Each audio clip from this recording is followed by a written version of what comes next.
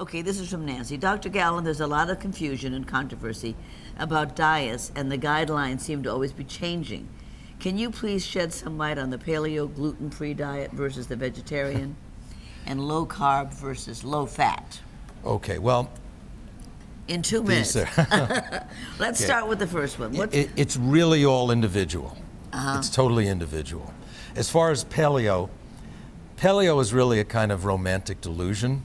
I mean, you, you can't really eat like a hunter gatherer Right. living in the US today.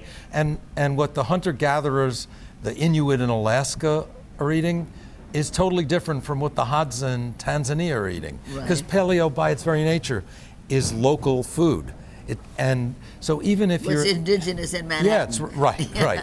And so even if you're eating um, only fruits and vegetables and you're not having any grains, and paleo really is about no grains, no sugar, no dairy, Mm. no beans. You know, nothing that you couldn't just Right, um, gather or kill. right.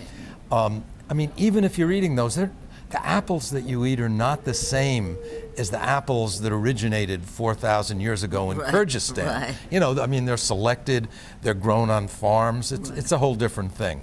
Nonetheless, there are people that feel better when they eat that, that way, when Mm. they cut out the grains and the dairy products, and almost everybody feels better being off sugar. Right. That's an individual decision. You have to know your, your diet. You- Right. You have to know your body. Right. And I've seen people who thrived on a low carb, high protein diet, following the basic kind of paleo guidelines. And then I've seen other people who crashed on that kind of diet. Their energy sagged, and they did much better as vegetarians, Uh-huh. including eating grains. Right. I love grains. I know. I know you do. I really do.